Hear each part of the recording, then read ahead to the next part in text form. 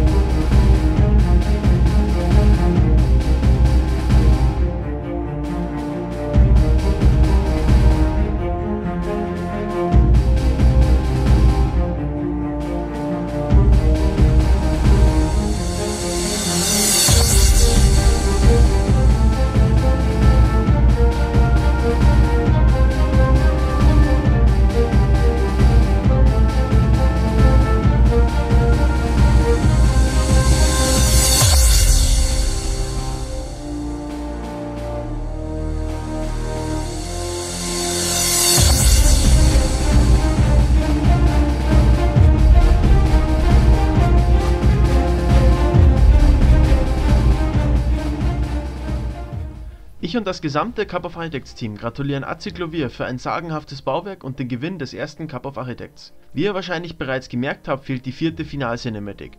Dies hat den Grund, dass Sir Zenner gegen unsere Regeln verstoßen hat und somit disqualifiziert werden musste. Diese Entscheidung ist uns sicherlich nicht leicht gefallen, jedoch mussten wir dies tun.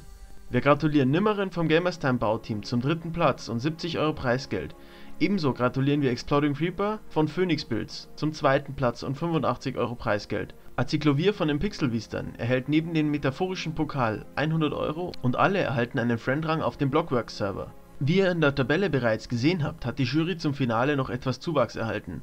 Neben Kellerbier, Dennis Bills und mir, Turnip Nose, haben wir Lennox von Araya Creations und Kimmer8 von Atrondal in unserer Runde begrüßen dürfen. Eine genauere und ausführliche Bewertungseinsicht findet ihr auf unserer Website. Nun aber zum Gewinnspiel Zusammen mit den Pixelbiestern werden wir in den nächsten Tagen Zeitrafferaufnahmen der Finalplots hochladen. Dort könnt ihr sehen wie die Architekten gebaut haben und vielleicht ja noch etwas dabei lernen. In den Videos werden hin und wieder kleine COA-Pokale eingeblendet, welche ihr zählen müsst. Die Gesamtanzahl der eingeblendeten Pokale in den drei Videos müsst ihr dann in ein Formular, welches ab Release der letzten Timelapse auf unserer Website zur Verfügung steht, eintragen.